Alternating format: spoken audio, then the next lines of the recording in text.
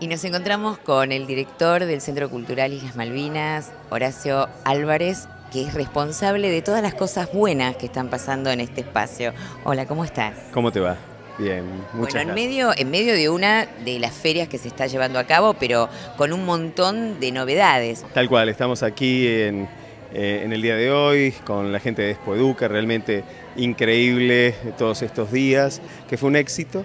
La primera Expo Educa en la ciudad de La Plata, con la apertura de- del intendente Pablo Bruera, el secretario de Cultura, el doctor José Chipolone, que, que para nosotros y para la ciudad de La Plata fue y es un gran evento eh, a nivel realmente provincial. Realmente la posibilidad de que distintas eh, posibilidades que tengan que ver con la educación se den cita aquí en el Malvinas y puedan, por qué no, difundir todo lo que se puede llegar a generar y lograr de cara al 2013. No, no solamente Expo Educa, sino que también tenemos los segundos domingos de cada mes, tenemos la feria de la región a nivel Ciudad de La Plata, es muy, muy importante, eh, al cual se aglutina y se conmemora en esta oportunidad y en este momento esta, esta posibilidad de que la gente recorra el isla, recorra la plaza. Escuche día- tango, escuche, hay tres o cuatro propuestas musicales. Bueno. es increíble, más muestras de arte. Eso es lo que genera y confluye en el Islas, la posibilidad de que la gente pueda recorrer muestras de arte.